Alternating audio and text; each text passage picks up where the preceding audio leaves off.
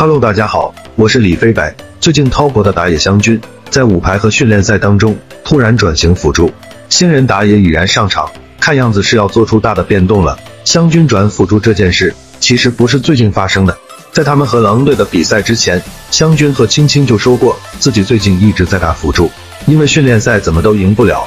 虽然湘军练了辅助，但是胜者组第一轮他还是以打野的身份首发，并没有换人。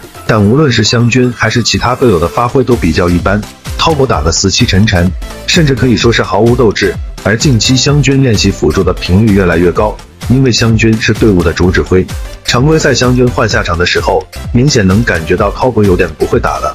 新人打野已然操作是没什么问题，但是节奏感不如湘军，而且他似乎只能打野和蓝灵打野方面还存在缺陷。想着让湘军转型辅助而不是替补，也是怕队伍的节奏乱了。